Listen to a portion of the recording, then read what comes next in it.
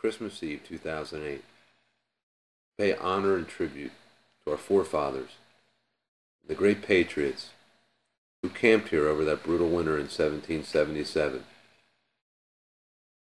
It's in their spirit that we're here today, thinking back on the sacrifices that they made so we could be here today, so we could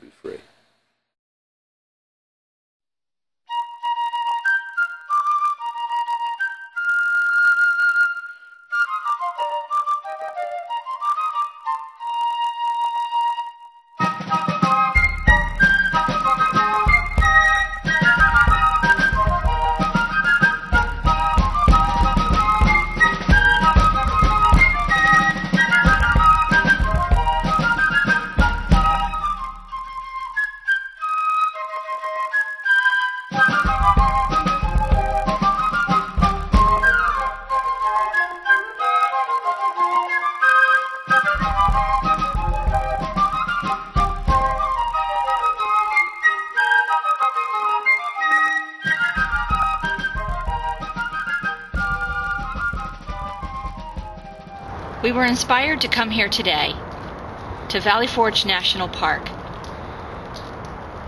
by a fellow patriot, Collins Bailey. I received an email for him from him, and I would like to read you a portion of that email regarding the Continental Army. December 19. Driven into Pennsylvania by the British, the Continental Army set up camp at Valley Forge December 19, 1777, just 25 miles from British occupied Philadelphia. Lacking food and supplies, soldiers died at the rate of 12 per day. Of 11,000 soldiers, 2,500 died of cold, hunger, and disease. A committee from Congress reported feet and legs froze till they became black, and it was often necessary to amputate them. Soldiers were there from every state in the new Union, some as young as 12, others as old as 60. And though most were white, some were African American and American Indians. Quaker farmer Isaac Potts observed General Washington kneeling in prayer in the snow. Hessian Major Karl Leopold Baurmeister noted the only thing that kept the American army from disintegrating was their spirit of liberty.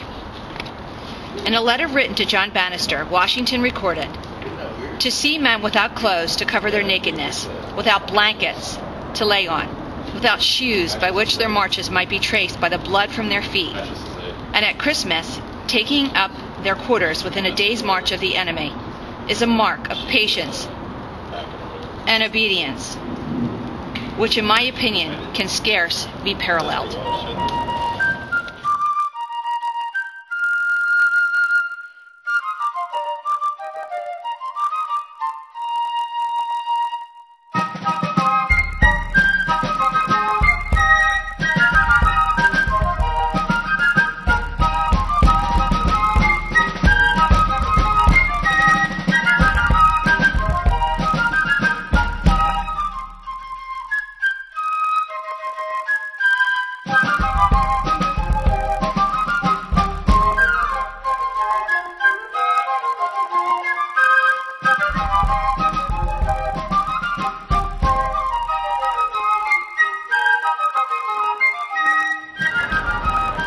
Here in this place of sacrifice, in this vale of humiliation, in this valley of the shadow of that death out of which the life of America rose, regenerate and free, let us believe with an abiding faith that to them union will seem as dear, and liberty as sweet, and progress as glorious as they were to our fathers, and are to you and me, and that the institutions which have made us happy preserved by the virtue of our children, shall bless the remotest generation of the time to come. Henry Armit Brown.